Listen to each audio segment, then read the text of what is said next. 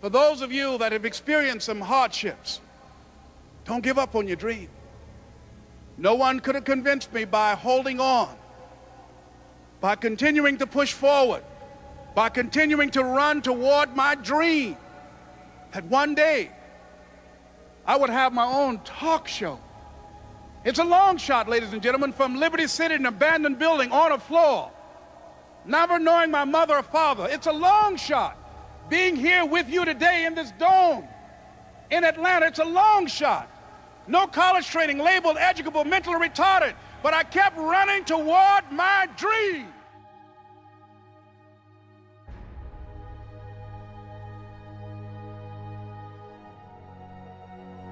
What I'd like for you to do right now, I want you to think about your dream because I'm in a room full of dreamers. Think about your dream right now. I want you to think about it and envision it. Now, ladies and gentlemen, let me share something with you. I do not believe that any of us have dreams that were not given to us for the purpose of accomplishing those particular dreams. And I want to share something with you that has changed my life. I started out, as was indicated by Jack, very humble beginnings. I don't know what that dream is that you have. I don't care how far fetched it might appear to be. I don't care how disappointing it might have been as you've been working toward that dream.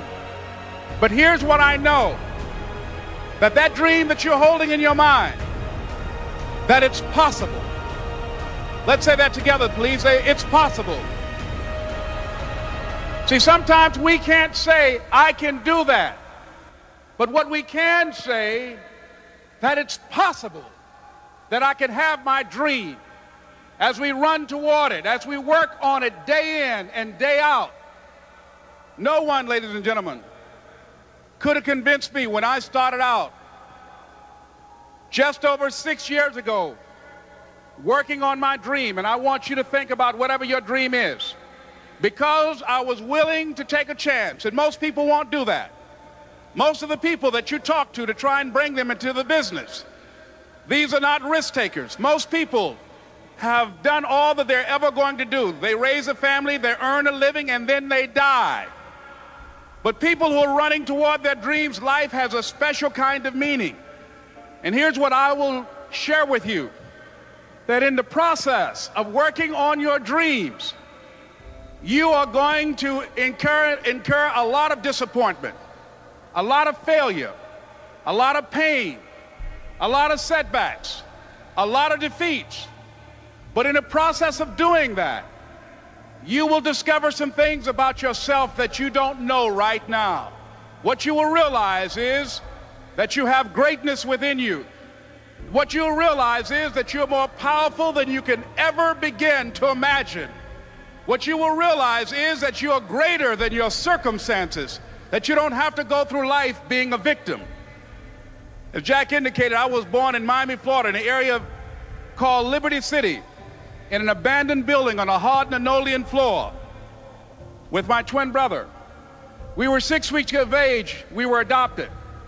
When I was in fifth grade, I was identified as EMR, labeled educable, mentally retarded, put back from the fifth grade into the fourth grade, and stayed in that category until I got out of high school.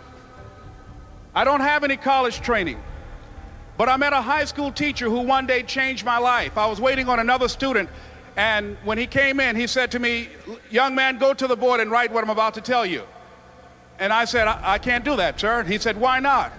I said, I'm not one of your students. He said, It doesn't matter. Follow my directions now. I said, I can't do that, sir. He said, Why not? I said, Because I'm educable, mentally retarded. And he came from behind his desk and he looked at me. He said, Don't ever say that again. Someone's opinion of you does not have to become your reality.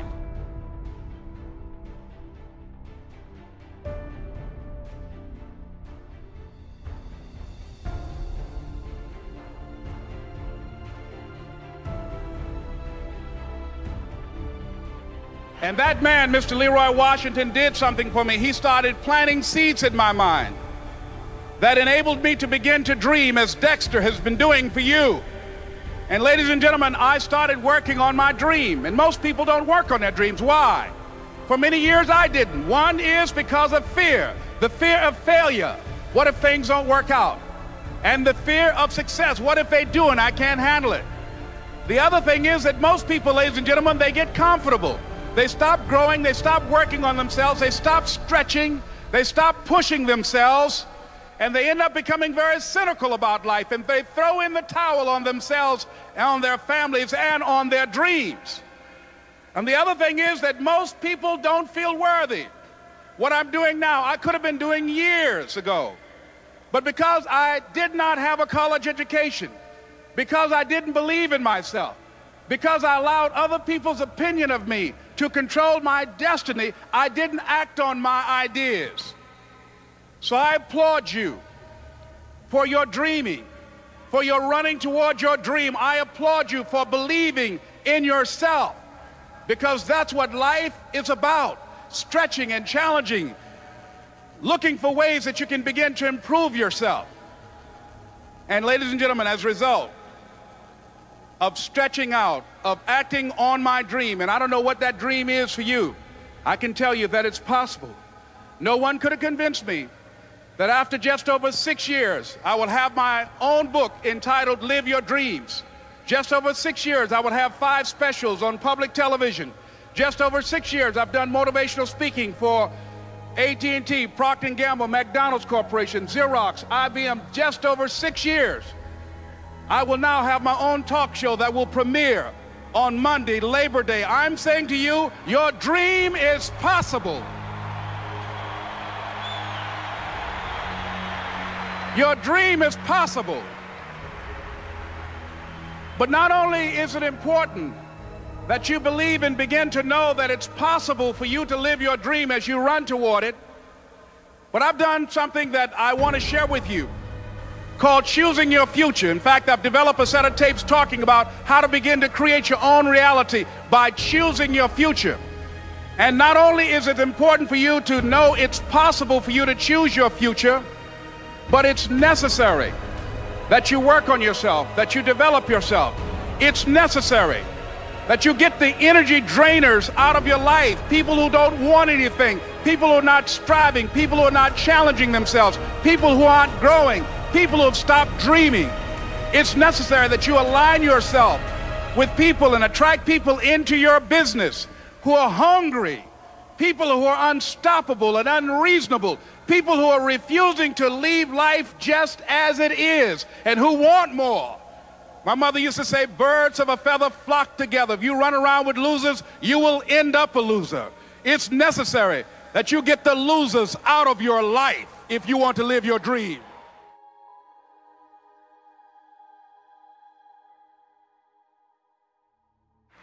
It's necessary to know that everybody won't see it that everybody won't join you, that everybody won't have the vision. It's necessary to know that. That a lot of people like to complain, but they don't want to do anything about their situation. That you are an uncommon breed. You know, you have to know within yourself that I can do this. Even if no one else sees it for me, I must see it for myself. That's necessary. It's also, ladies and gentlemen, necessary that you be creative when you're working on your ideas that you understand the importance of, of changing up, of readjusting your strategies. Many times we can have a great idea, but if you're not advancing it in the right way and things don't happen, you become discouraged and think the idea doesn't work. No, that's not true. It's necessary that we become creative. I remember when I was in New York walking down the street and a guy approached me and said, Hey, mister, can I shine your shoes? And I said, No, I'm in a hurry. I don't have time. I kept walking. Someone else said, Hey, man, your shoes look clutty. May I shine your shoes? I said, No, I don't have time. I'm sorry, I'm busy. And I was walking fast, and many people solicited me for my business. And then finally, a young man stepped in front of me and he said, Excuse me. And he started counting 97, 98, 99, 100. He said, Sir? I said, Yes. He said, Come here, please. I said, What is it? He said, Today is my birthday. And every year, just to thank God for another year of life, the 100th person who passes my shoe shine stand I offer them a free shoe shine. Would you give me the honors? I said, why, sure. I got up on the shoe shine stand, George, and I sat there and, and he shined my shoes diligently. And when I got down, I looked at them, they were sparkling. And I was walking away and I said, thank you. And I stopped, I said, excuse me, but how much do you usually charge? He said, only $2. I said, I tell you what, today's your birthday. Here's five, keep the change. He said, thank you. As I was walking away, looking in the opposite direction at other people coming, he started counting again. 97, 98, 99, 100.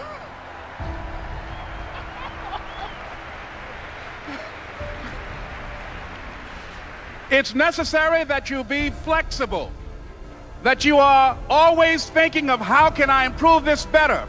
This is a customer driven economy. It's necessary for you to always explore various ways in which you can improve the quality of service that you're providing for the people in your organization. I remember something a major company had talked about the extra value service they were providing for their customers. And the lady who had the news conference summarized it this way. She said, it's not our intention to satisfy our customers or to please our customers. Our intention is to amaze them. It's necessary if you're going to compete today that you look for ways to amaze your customers by being one of those individuals that keep your commitments, that keep your word, that's relentless. It's necessary as you work with the people that you bring into your organization that they see that you are a good example of a person to work with because you model integrity and determination and ambition and truth and honesty and the way in which you conduct business. The next step is that is you. That is you. That no one can do it for you but you. And even though you face disappointments, even though you will experience some setbacks, it goes with the territory. You must understand that. I remember I was playing a game with my nine year old son, John Leslie. And I beat him 10 straight games in a game called Connect Four. And finally, I said, John Leslie, I'm bored. I don't want to play you anymore. And I got up. I said, I'm ready to go to sleep now. And repeat out to me, please. Let's say to this together. It's not over until I win. John Leslie said, No, you can't go now, Dad. I said, Why? He said, It's not over until I win. That was his attitude. We sat down and we played several other games. And finally, after the 11th game, John Leslie won and he got up and he yawned and he said, I'm ready to go to sleep now. And I'm saying to you, what if all of us took that attitude after we face a rejection and a no, or we have a meeting and no one shows up, or somebody say, You can count on me, and they don't come through? What if we have that kind of attitude? The car's repossessed. Nobody believes in you. You've lost again and again and again. The lights are cut off, but you're still looking at your dream, reviewing it every day, and say to yourself, It's not over until I win.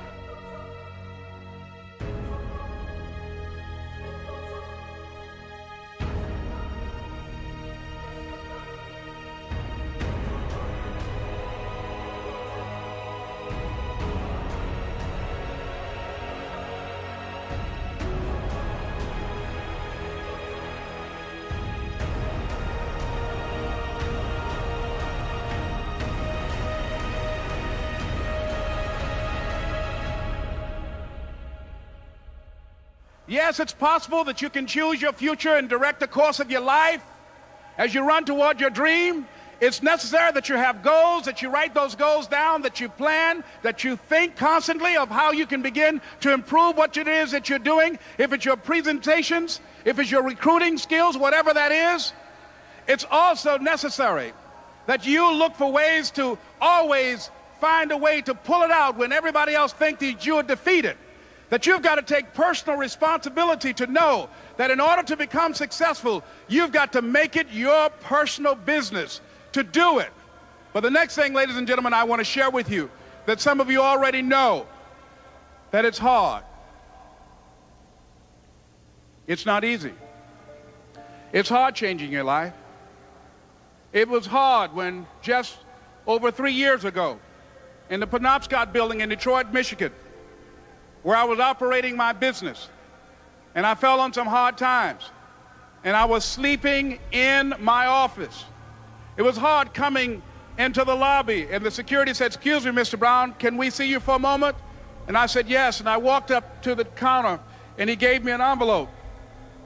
And he said, Would you mind reading it here? And I opened the envelope, and the envelope was from management that said, This is an office tower. It's not a hotel. Please do not sleep in your office. And I said, Excuse me, sir. I said, I just work long hours in creating my business. I'm an entrepreneur. And right now, things are bad for me. But they're not going to be this way always. And I just asked for the opportunity to continue to operate like I'm doing. I'm not trying to make this my home. And it was hard coming through the lobby. And sometimes they would laugh. There's a guy talking about becoming successful. And look at him. He's bathing in the bathroom upstairs on the 21st floor. He sleeps on the floor. Him and two other dreamers up there. Look at him. It was hard, ladies and gentlemen, coming to speak to people. And I was facing financial difficulties in my own life. I was behind on my bills and my dreams, and I'm saying to them, You can live your dream. It was hard, ladies and gentlemen. It was very difficult to pick myself up each day believing that I could do it. There were times that I doubted myself. I said, God, why, why is this happening to me? I'm just trying to take care of my children and my mother. I'm not trying to steal or rob from anybody. Why did this have to happen to me? It was very hard. And here's what I want to say to you. For those of you that have experienced some hardships, don't give up on your dream. No one could have convinced me by holding on, by continuing to push forward, by continuing to run toward my dream, that one day I would have my own talk show. It's a long shot, ladies and gentlemen, from Liberty City, an abandoned building on a floor never knowing my mother or father. It's a long shot. Being here with you today in this dome in Atlanta, it's a long shot. No college training, labeled educable, mentally retarded, but I kept running toward my dream.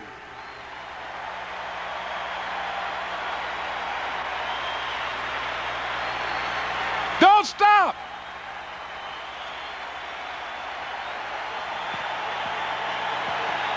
Don't stop.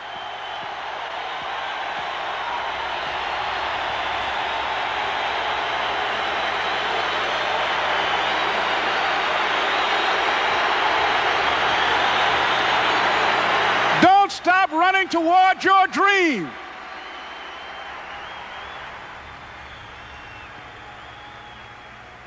It's very important as you hold on to that dream. There are moments when you're going to doubt yourself.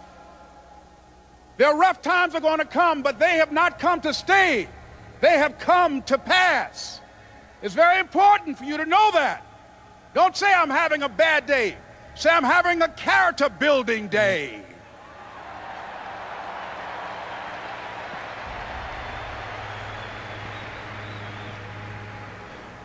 It's very important for you to believe that you are the one to make this happen. I remember this high school teacher, Mr. Leroy Washington, at the end of school one June, it was just a few days before we were supposed to leave. And I just got my report card. And it indicated that I'd failed history and I'd failed English. And I would have to go to summer school. And I was feeling within myself that I was a failure, that I, am slower than most people in, in getting paperwork. And, and I was feeling down on myself and, and, and very negative. And Mr. Washington was giving a speech to the graduating seniors, and I was in 11th grade. And even though I wasn't supposed to be in there, I went in there because the speech he was giving, that speech was for me. And as he talked, my heart began to beat fast. Tears began to run by my eyes, and, and I was in the back just listening to him because he said, and he was a very dramatic man. I still talk to him to this day. He said, as graduating seniors of Booker T. Washington High School, I want you to know that you're blessed and highly favored, and that as you go toward the future, begin to know that you have greatness within you. And if just one of you here begin to envision yourselves as being blessed and highly favored to reach your goals, if just one of you capture the essence of what that means that you have greatness within you and a responsibility to manifest that greatness.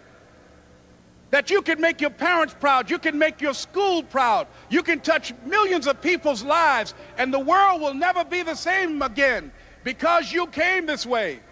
And the students gave him a rousing standing ovation. And as he left the auditorium, I ran down the steps and I caught him in the parking lot. I said, Mr. Washington? He said, Yes. I said, Do you remember me, sir? He said, No. I said, uh, My name is Leslie Brown. My mother, she works in the cafeteria here. I'm one of the twins, Leslie and Wesley. I said, Mr. Washington, but you know, you know, I got these big dreams. You know, I like talking to people. I love people. I said, I, I want to work with people, and I got this dream of buying my mama a home. Could, could I do that, Mr. Washington? He said, It's possible, Mr. Brown. And as he walked away, I called him again. I said, Mr. Washington? He said, What do you want now? I said, uh,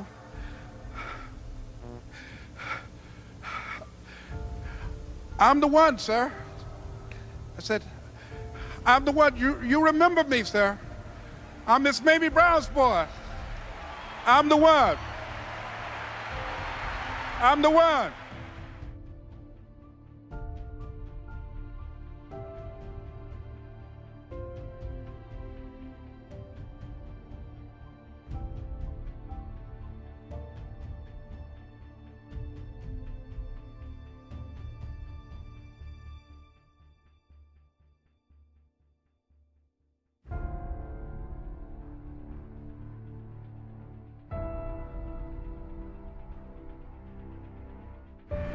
Ladies and gentlemen, it's not going to be easy. It was hard laying on the floor of the Penobscot building, looking out of the window, daydreaming, saying, Les, can you do this? Can you make this happen? I used to listen to tapes day in and day out about See You at the Top, my, my great friend Zig and, and, and Dennis Waitley and different other motivational speakers and Dr. Norman Vincent Peale. And Dexter saying, Don't let nobody steal your dream. I used to ask myself, Can I do this? And something said within me, You're the one. You're the one. And let me tell you something, ladies and gentlemen. While you're here, and before you go back home to your respective cities and communities, write down at least five reasons on why you deserve your dream on why you won't give up, what's going to make you unstoppable, why you must be unreasonable, because logical, practical thinking says you can't do it today. But if you want to produce unreasonable results in your life, like living your dream and taking charge of your destiny, you've got to be an unreasonable person. You've got to be an uncommon person. So write down the reasons of why you're here.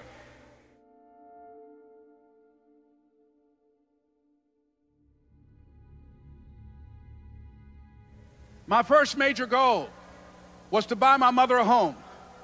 And let me tell you something, ladies and gentlemen. What, what will reasons do, Les? Nietzsche said, if you know the why for doing, you can endure almost anyhow. What do you mean by that? If you know why you're doing something, when the hard times come, and they're going to come, when the disappointments and the rejections come, and they're going to come by the truckloads, your reasons will be your rod and staff to comfort you, to pick you up. Once again, I got a saying on one of my tapes if life knocks you down, try and land on your back. Because if you can look up, you can get up. Let your reasons get you back up.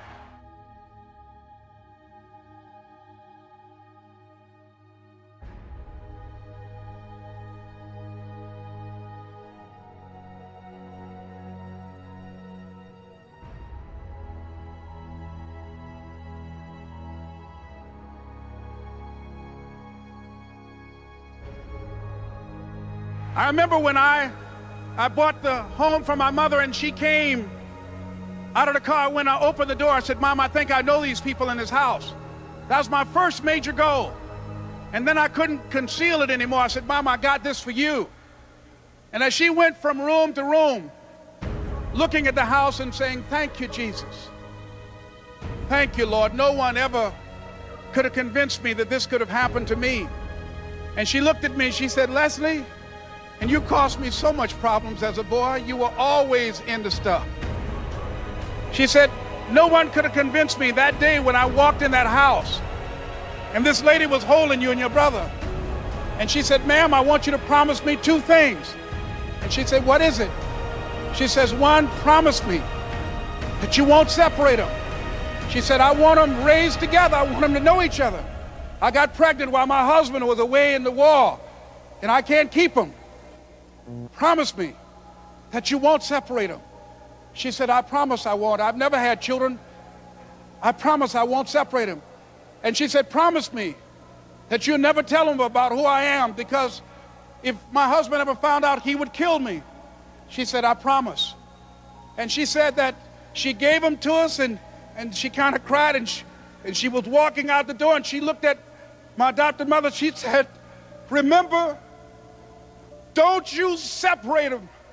She said, I swear to God, I won't. I won't separate them. I'll keep them together. And she said, as I held y'all in my arms, I never had any children of my own. I didn't know how I was going to do it. But I knew with the help of God, I will do it. And ladies and gentlemen, my mother had a dream of having children and raising us. She didn't know how she was going to do it. You're going to be just like that. And some of you are already there. Well, you don't know how you're going to make this happen, but you just feel within yourself some way, somehow, with the help of God, I'm going to make it happen. Repeat after me, please. No matter how bad it is, or how bad it gets, I'm going to make it. I'm going to make it.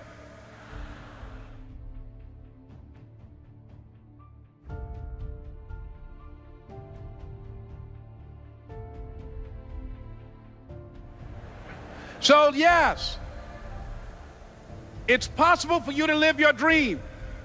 It's necessary that you associate with winners, that you work your system, that you are relentless, that you never give up. It's you. You've got to take personal responsibility. You've got to make it your personal business to make it happen. And you've got to resolve within yourself that I can do this, that it's hard, but you've got to say, I'm the one. I'm the one to make this happen. I'm the one to become successful in this business. As you work to help other people to become successful, that feeds your success.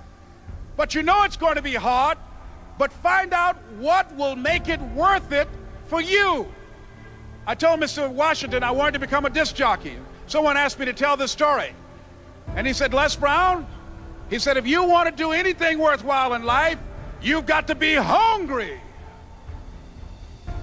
And so I started working to develop myself. He said, I want you to practice every day being a disc jockey. I said, but I don't have any job now. He said, it doesn't matter. He said that it's better to be prepared for an opportunity and not have one than to have an opportunity and not be prepared. So every day I was working to develop myself. And that's what you must do. And as I was working to develop myself, I applied for a job as a disc jockey, WMBM on Miami Beach. I went to a guy named Milton Butterball. I said, how you doing, Mr. Butterball? I'd like to get a job as a disc jockey. He looked at me, he said, you have any broadcast background? I said, no, sir, I don't. You have any journalism background? I said, no, sir, I don't. He said, we don't have any jobs available. I said, yes, sir. I went back to Mr. Washington and I told him, he said, don't take it personally. He said, most people are so negative, they will have to say no seven times before they say yes. He said, go back again. So I went back again. I said, how you doing, Mr. Butterball? My name is Les Brown. He said, I know what your name is. What do you want? I said, I'd like to know whether or not you have any jobs at disc jockey, sir. He said, didn't I just tell you yesterday we didn't have any jobs? I said, yes, sir, but I know whether or not somebody got laid off or somebody was fired, sir. He said, no one was laid off or fired. Now get on out of here. I came back the next day. Hello, Mr. Butterball. How are you? He said, fine. What do you want now? I said, I'd like to know whether or not you got any jobs, sir. Didn't I tell you the last two days we didn't have any jobs? I said, yes, sir, but I don't know whether or not somebody got sick or somebody died, sir. He said, no one got sick or died. Now don't come back here and throw me out again. I came back the next day like I was seeing him for the first time. I said, hello, Mr. Butterball, how are you? He looked at me with rage. He said, go get me some coffee. I said, yes, sir.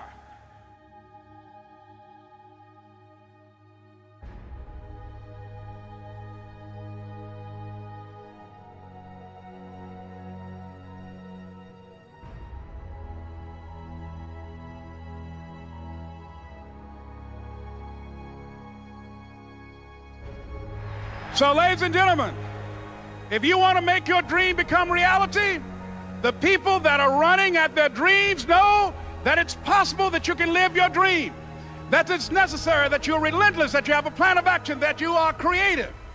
The people that are living their dream are finding winners to attach themselves to. The people that are living their dreams are the people that know that it's, if it's going to happen, it's up to them. And they're resolving within themselves, it's not over until I win. The people that are running after their dream know they're going to have hard times. They keep on running because they're saying within themselves, I'm the one. I'm the one. No matter how bad it is or how bad it gets, I'm going to make it. The people that are running after their dreams are the people that are hungry. Shake somebody's hand on your right and left and say, You got to be hungry.